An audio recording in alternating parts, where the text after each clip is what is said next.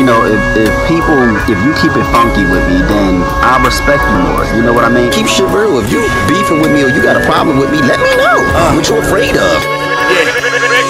Same OG, never been interested in switching. Why change up? I guess you niggas got some identity hangups. Cause y'all do the most just to fucking be famous. Brainless. Niggas know me from back when I was juggling between rapping and hustling, splurging while y'all was budgeting.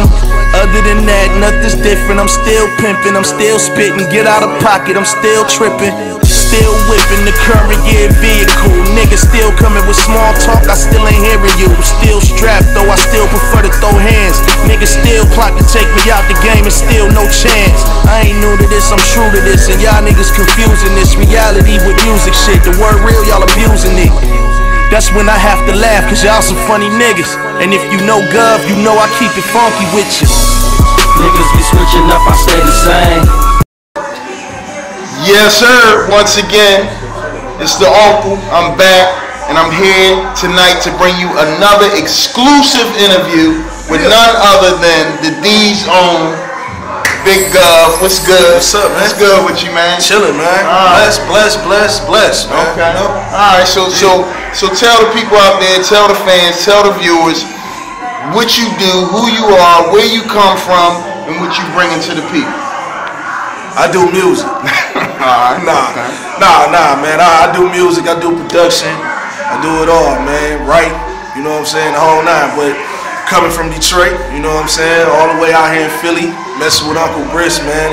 Just shot a video out here to one of the records on the No Signs of Weakness album, which he reviewed, Mm-hmm. which he gave a great review, which got me a few more fans. Okay, You know what I'm okay. saying? I don't like using the word fans, fam. You know Right. what I'm saying? So I, I mean, I- I'm just blessed, man, to be doing my thing. I love the music. I love hip hop. I'm just happy to be a part of it. Okay, all right, all right. So, so hip hop is big in Philly. It, it's it's big in Detroit. No doubt. Um, um, just tell the people why did you start doing this? Who who, who are some of your influences? It, it could be in the D. It could be anywhere. You know, what what made you want to do what you do? But growing up, growing up in the '80s, man, it was hard not to do hip hop. You know what I mean? Uh, Run DMC, Fat Boys, the most influential groups in hip hop. So, you know, it, it was just something that caught my ear at a young age. I loved it. I wanted to be a part of it, and I've been a part of it ever since. You know what I'm saying? All right. So so no signs of weakness. The deluxe version. If you do not have it, you definitely want to Yes. go get it. Um, It is something that I really really enjoy. I have it on heavy rotation. Um, and you know, just it, it, it's a little personal, you know, which Yeah. which which is something that I enjoy as a music listener. Right. And and just tell the people out here, I love the intro. I know it's something sentimental behind it. Yeah. Tell, tell tell the folks out there what the intro is about. The intro, you know, I, I kicked it off with the last voicemail that my mom left me three months before she passed away. She lost a battle with cancer. You know what I'm saying? So I, I I really was trying to figure out what record would be perfect to put her voice in front of. Okay. And No Signs of Weakness, like hands down, was the record. So I just took the, the voicemail, slapped it on the intro, and the rest is history. You know what Okay. I'm saying? And it, it made a lot of sense because it, it it set the tone for the rest of the album. You know what I'm saying? Okay. So- yeah, and, and and I definitely agree with that. And you got some other uh, stuff in your background too. Um, a family member, your family members is really in your music. Yeah, and, yeah. And my father, uh, mhm. my father was uh he was a singer. He uh sung with a group called the Five Special, that was uh managed by Ron Banks, the late Ron Banks of the Dramatics. Uh, they had their first deal with Elektra Records. Okay. You know what I'm saying? Well, they only deal with Elektra Records. Okay. And um, you know, for the most part, my father and my moms used to sing a little bit. You know what I'm saying? But my cousins was all rappers. It was it was crazy, man. It was one way you gonna hit music. You turn the next way, you're gonna hit music. You go this way, you're gonna hit music. And this Right. probably like the only way you ain't gonna hit music, but Uh-huh. it's somewhat there, but it's not all the way there. Okay. So it's like I was just faced with music in every direction. You Right. know what I'm saying? Okay. All right. So, um, and it, it, it's one thing that that that really it, it really touches me is is true to heart tracks. Yeah, no and and it's something that I talked to you a little bit about Um, one of my favorite tracks, first off, one of the first tracks that I ever heard from you is Bleed. Um, and that's a real personal track. Tell, tell the tell the viewers out here, you know, why is that so personal and so touching for you? Well, my brothers, man, I, I we was doing a um I had a clique, man, called the Black Government Gang at one point, and um, you know it. It, it, we we had the city on smash. Everybody loved who we who we were. You know what I'm saying? As as a as a family, and uh, we just stopped seeing eye to eye for a minute. You know what I'm saying? And certain things happened, and it put me in a dark period, in a dark point of my life. You know what I'm saying? And I was kind of hurt by the situation, but you know we we uh finally got a chance to reconcile, put everything back together, and we all we all good. But that's where bleed came from. It came from that situation, you know what I'm saying, and it, it was just a hurtful situation. But I guess the pain translated to the record, and everybody liked the record, so it was just like, yo, roll with it. And it's what definitely it's, it's a dope track. I One time for my niggas still riding with me. Two nuts for them niggas who colliding with me. Friendly foe nigga, I don't give a now. Cross the line, nigga, it won't be a touchdown.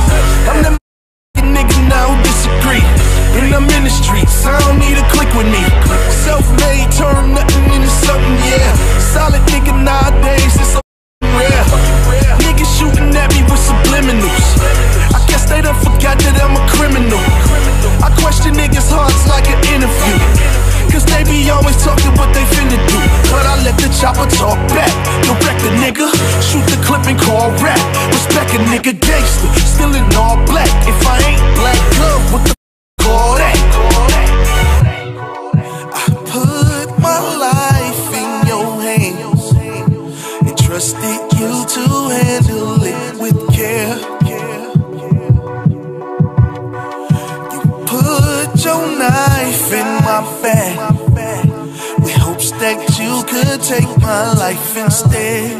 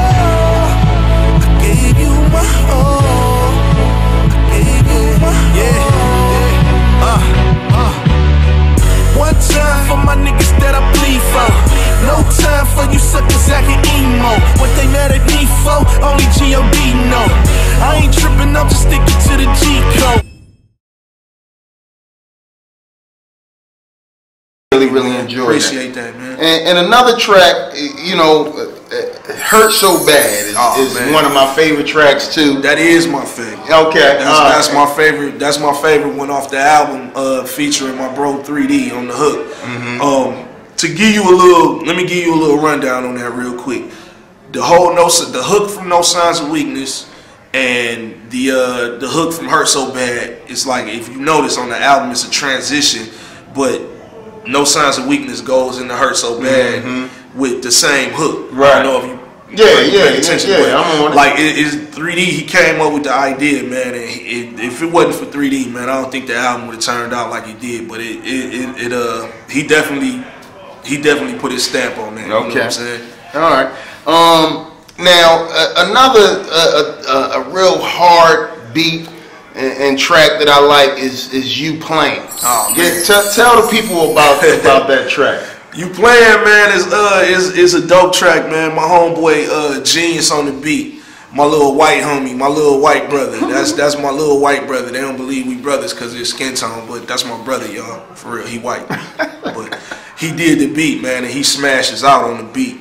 So when he gave me the beat, man, my idea for the record, I had already had it in my mind what I wanted to say when I heard the beat.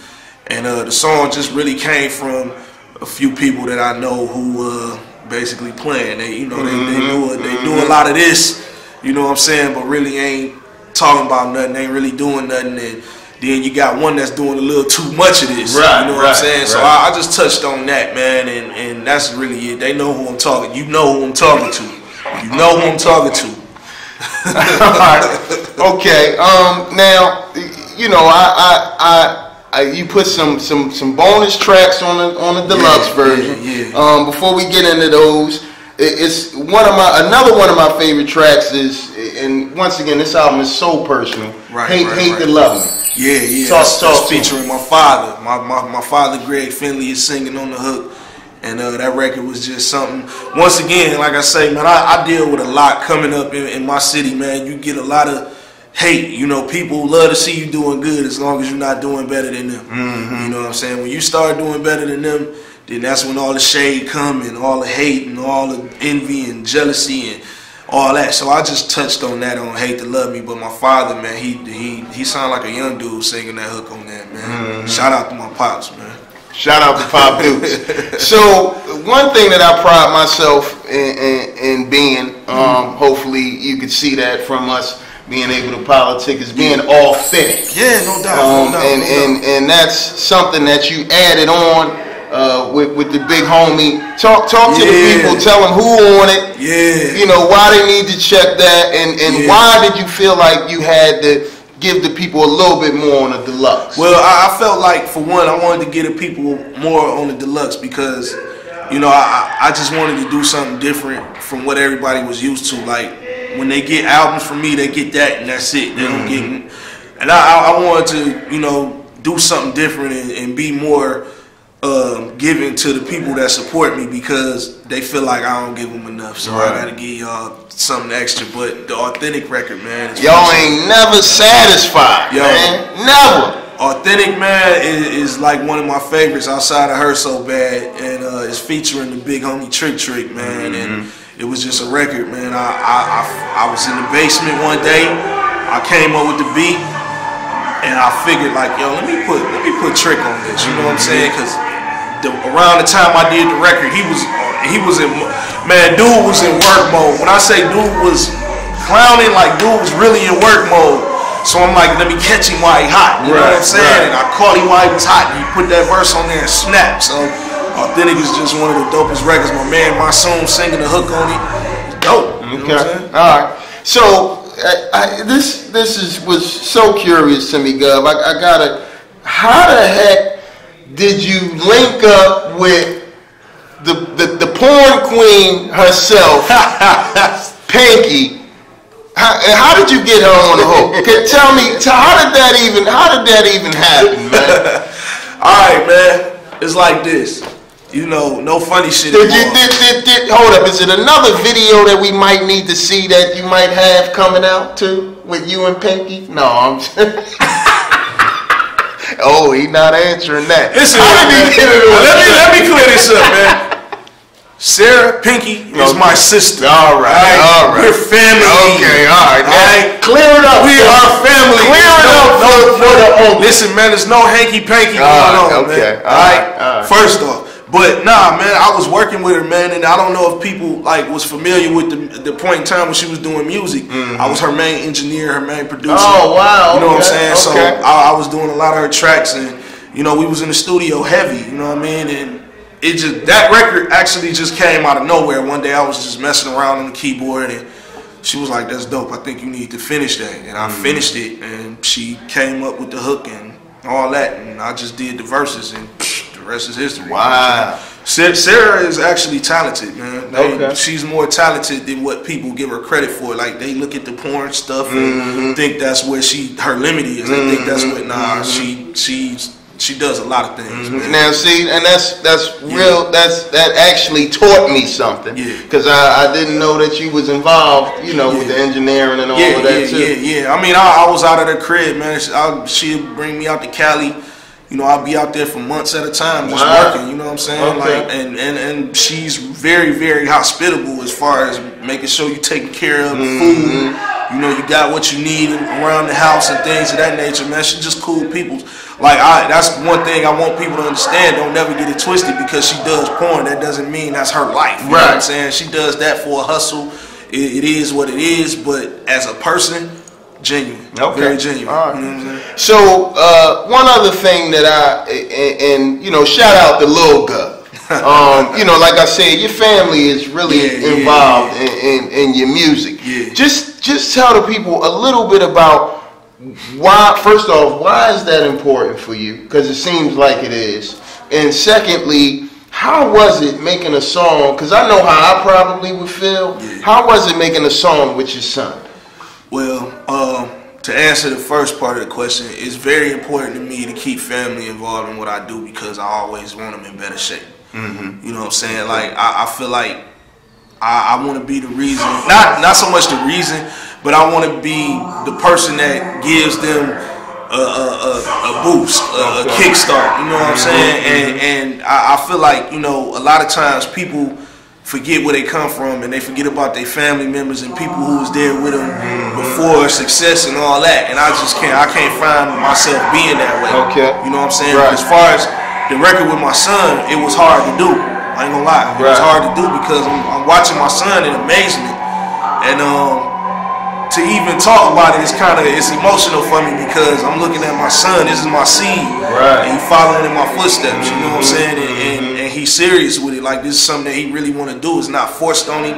You know, I, I really didn't want him to do music. I wanted him to go be a scientist someday. Right, but right. he wanted to do music, and here it is. You know what I'm mm-hmm. saying? And it, it's it's proud moments every time I see him on stage or every time I see him in the studio. Yeah. I walk in from work, he's in, in, in the